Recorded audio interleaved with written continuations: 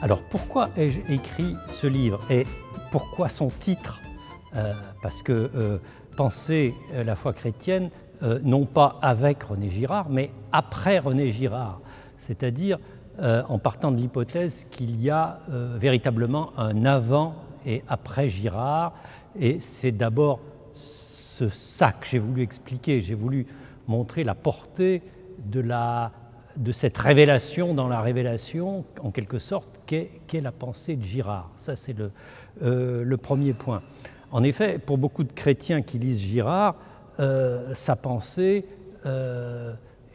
ouvre de nouveaux horizons, et en particulier ouvre à une compréhension beaucoup plus profonde du sens de la passion du Christ, qui apparaît dans sa avec une portée anthropologique très profonde et son, le, caractère universel de l'événement euh, apparaît avec beaucoup plus de clarté, puisque euh, pour Girard, la, passion constitue le dévoilement d'un mécanisme anthropologique qui est au cœur de, la fondation de toutes les sociétés humaines, et en quelque sorte c'est un, un, dévoilement du mal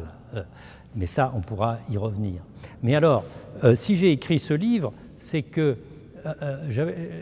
je ne suis pas le seul d'ailleurs à avoir eu ce sentiment, c'est que Girard a posé de nouvelles bases pour la théologie. Il a, sa, pensée constitue un socle que les théologiens ne peuvent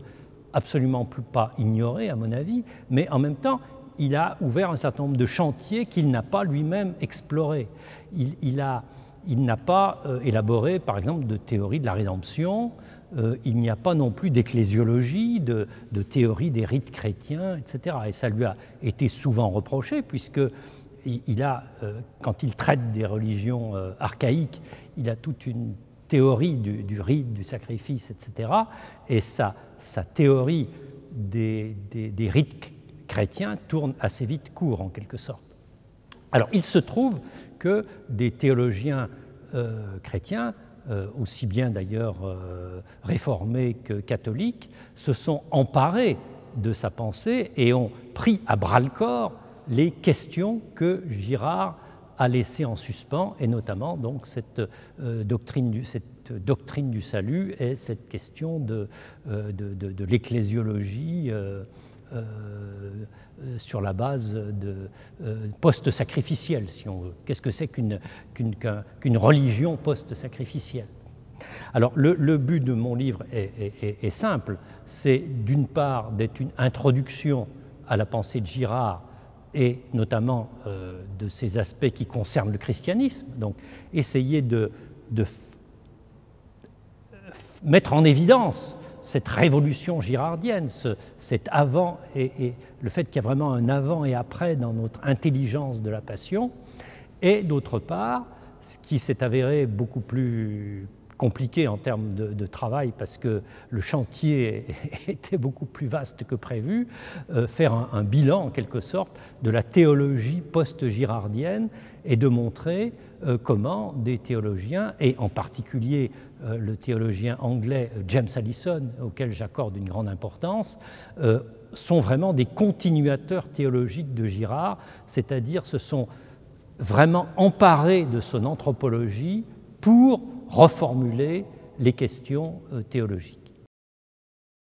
Alors, le, cœur de la pensée anthropologique de Gérard, c'est la théorie du désir mimétique. C'est d'abord une théorie euh, du désir humain. Euh, l'homme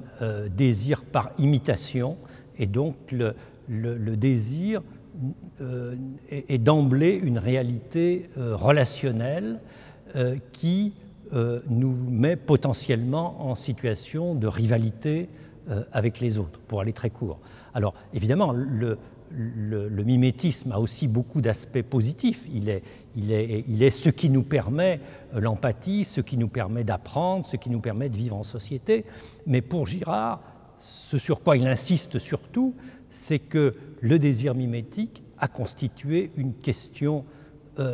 tout à fait nouvelle pour les premières euh, communautés humaines parce qu'elle les a confrontés à, euh, une violence intraspécifique qu'elle n'était pas du tout, que ces groupes n'étaient pas du tout armés pour affronter. Et sa théorie de la religion et de la culture donc est fondée sur l'idée que le sacré mais aussi le symbolique, c'est-à-dire la, possibilité même d'avoir un langage, toute, cette rupture qui, définit euh, l'hominisation, est liée à la question de la violence et à la question du contrôle de la violence au sein des groupes euh, humains, avec ce mécanisme qui est un peu la marque de fabrique de Girard, si on veut, c'est-à-dire cette mise en évidence de l'universalité des mécanismes de victimisation, de bouc émissaire que l'on retrouve dans toutes les sociétés, dans tous les groupes humains,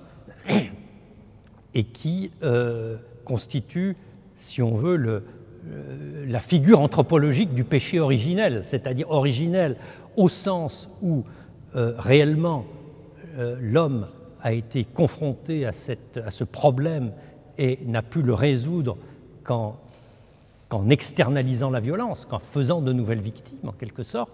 est universel, euh, euh, originel, en quelque sorte, au sens où il est encore originel dans nos identités collectives, dans notre manière de faire société. Le processus de la passion, en quelque sorte, euh, reprend les différents éléments que l'on trouve dans beaucoup de mythes d'origine, de manière plus ou moins euh, euh, cachée, de plus ou moins euh, sublimée en quelque sorte, c'est-à-dire une, foule en colère, ce qu'il appelle une crise mimétique, c'est-à-dire une, situation de malaise social profond,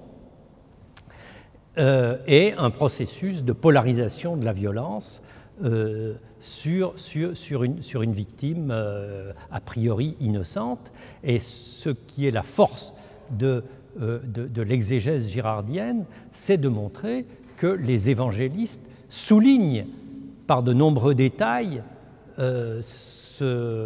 cette signification anthropologique de la passion, euh, en particulier dans la phrase du grand prêtre Il vaut mieux qu'un homme meure pour, pour, sauver le peuple. Enfin, je ne me souviens plus de la, citation exacte. Et puis, par exemple, un autre point qui, est, euh, beaucoup, qui paraît beaucoup plus anecdotique quand on lit l'Évangile, euh, le fait qu'Hérode et Pilate deviennent des amis à partir du moment où ils se sont mis d'accord sur la, sur la mort du Christ. Et puis on trouve encore beaucoup d'autres euh, détails, points, enfin, données de, des récits évangéliques qui soulignent que toutes les composantes du peuple de, l'élite jusqu'à la foule, en, passant par les Romains, sont en quelque sorte euh, unifiés autour de, la mort du Christ. Et dans les actes des apôtres, on a, un passage où, euh, euh, le, rédacteur englobe toutes les nations païennes, en quelque sorte, dans, la mort du Christ. Donc on a, les, évangélistes avaient déjà, et le Christ lui-même le montre enfin, c'est le, le, suggère dans un certain nombre de, paraboles, euh, sa mort a une signification universelle au regard des crimes commis depuis la fondation du monde. C'est d'ailleurs euh, une citation qui, est reprise, c'est-à-dire qu'il avait la conscience que euh, ce qui allait se passer était le dévoilement d'une chose cachée depuis la fondation, du monde. Et euh, euh, il faut lire Girard pour voir à quel point euh, ceci renvoie à un très grand nombre de passages. C'est comme un, puzzle, en quelque sorte, qui, qui trouve son sens avec cette, avec cette grille d'interprétation. Alors évidemment, c'est d'une importance énorme, parce que ça, ça, ça relie en quelque sorte le sens anthropologique de la passion du Christ à un problème fondamental, au problème fondamental de l'être ensemble des communautés humaines, qui est comment pouvons-nous vivre en paix sans reporter la violence sur un tiers, sans, faire de nouvelles victimes? Et une, phrase qui est également très intéressante à, interpréter dans ce sens-là, c'est quand le Christ oppose sa paix à la paix du monde. Je vous donne ma paix, mais je ne vous, je ne vous la donne pas comme le monde la donne. Alors on peut se demander, mais qu'est-ce qu'il y a de mauvais dans la façon dont le monde donne la paix? Eh bien, Girard nous permet de comprendre ça, c'est-à-dire la, paix du monde, c'est toujours une, paix assez douteuse, parce que euh, on le voit quand on est au restaurant avec des amis, il, est bien, il est bien rare que l'on puisse terminer la soirée sans commencer à dire du mal de quelqu'un, sans commencer à trouver un ferment de convivialité dans le, dans, dans le fait qu'on a un souffre-douleur, quelqu'un qui, qui, qui est la figure de celui que nous ne sommes pas. Et donc, si on va au bout, ce que propose le Christ est, absolument euh, enthousiasmant en quelque sorte et extraordinaire. C'est la possibilité de refaire l'unité de l'humanité autour de lui, c'est-à-dire autour de la victime innocente. Et donc, sans avoir besoin, en quelque sorte, de créer de nouvelles victimes pour euh, faire société, pour, vivre ensemble et pour être ensemble.